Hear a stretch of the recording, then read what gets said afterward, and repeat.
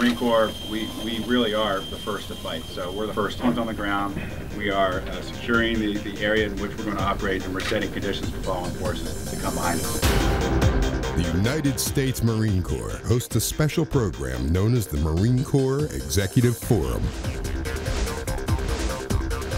Held in the Pentagon, Quantico, Virginia, and parts of historic Washington, D.C., this program gives business leaders from around the United States firsthand engagement in Marine Corps history, operations, and combat training.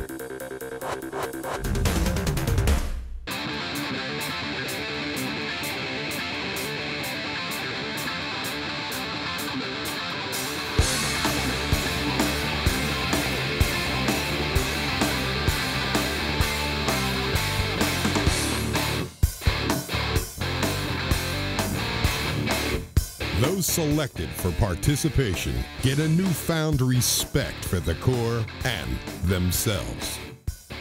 Are you up for the challenge?